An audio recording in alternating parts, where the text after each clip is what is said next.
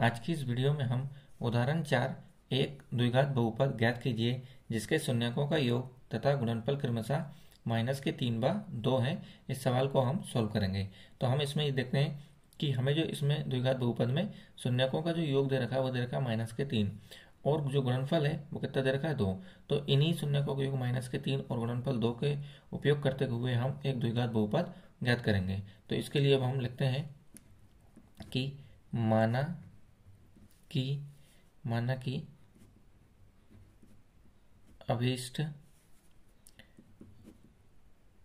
द्विघात बहुपद, माना कि अभीष्ट द्विघात बहुपद A X square plus B X plus C बराबर ज़ीरो है।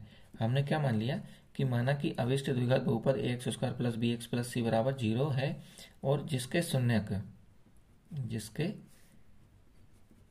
शून्यक अब इसके जो शून्यक होंगे, वो हम मान रहे हैं अल्फ़ा व बीटा। तो इसके जो शून्यक है, वो कितना हो गए? अल्फ़ा व बीटा है। अब शून्यकों का योग जो दे रखा हमें वो कितना दे रखा है? माइनस के तीन। और शून्यंकों का जो गुणनफल दे रखा है, वो कितना दे रखा है? दो। तो हम सबसे पहले शून्यकों का योग निकालेंगे कि अल्फ़ा प्लस बीटा बराबर शून्यकों का योग कितना दे रखा है? ये हमें माइनस के तीन। तो ये हो गया अल्फ़ा प्लस बीटा बराबर माइनस के तीन बराबर माइनस के बी बटे ए। तो अब हम देखते हैं कि यहाँ पे बटे में ए आना चाहिए। तो इसके नीचे कुछ नहीं है तो हम क्या करेंगे? बटे में एक लिख लेंगे।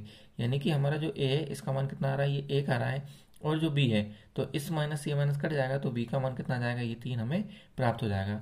ठीक, इसी प्रकार अब ये शून्य को के बाद हम शून्यंकों का गुणनफल, यानी कि अल्फ़ा गुणा बीटा निकाल रहे हैं तो शून्यंकों का जो गुणनफल हमें दे रखा था, वो कितना दे रखा है ये? दो दे रखा है। तो इसी को हम लिखेंगे कि अल्फ़ा गुणा बीटा बराबर ये दो, फिर बराबर में ये हो जाएगा सी बटे ए।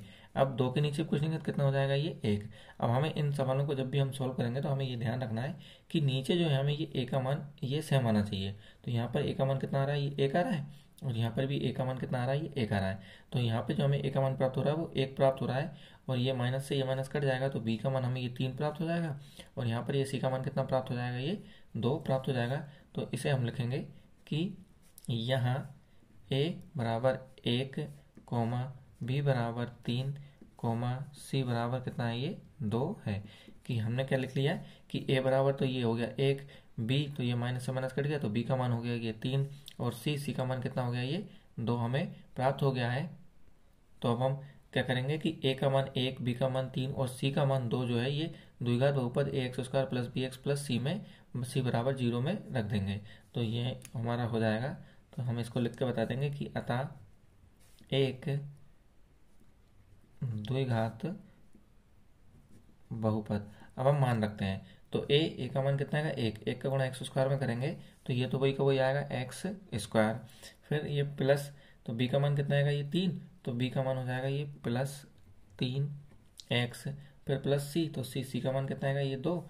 तो प्लस दो बराबर ज़ीरो है। हमने क्या करा कि ए बी और सी के मानों को इसमें रख दिया तो ए का मान कितना था? एक। एक का गुणा इसमें करेंगे एक्स स्क्वायर में तो कितना हो जाएगा? ये केवल एक्स स्क्वायर हो जाएगा। फिर प्लस बी बी का मान कितना आएगा? ये तीन। तो ये हो जाएगा तीन एक्स प्लस सी इसी का मन कितना हो गया? ये दो। इसी को हमने यहाँ लिख के बता दिया कि एक्स स्क्वायर प्लस तीन एक्स प्लस दो बराबर ये ज़ीरो है और ये सवाल यहीं पर समाप्त होता है।